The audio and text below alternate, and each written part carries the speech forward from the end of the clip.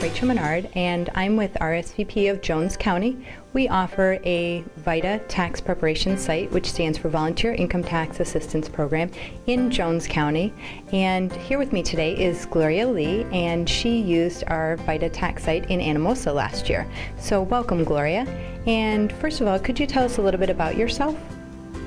Well, I retired and I'm a senior citizen from Anamosa and um, really glad I used VITA. Excellent.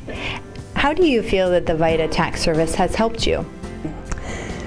If I didn't have VITA to go to, I'd have to rearrange my schedule, make allowances for the time I had to travel, and so on.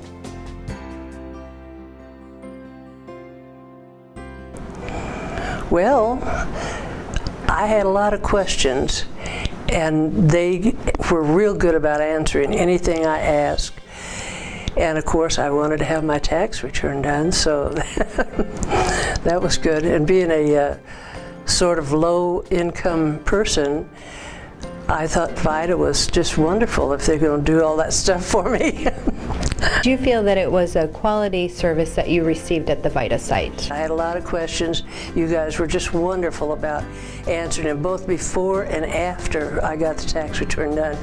You know, some people don't feel like they feel like maybe they forgot to tell you something, and uh, I was one of those people.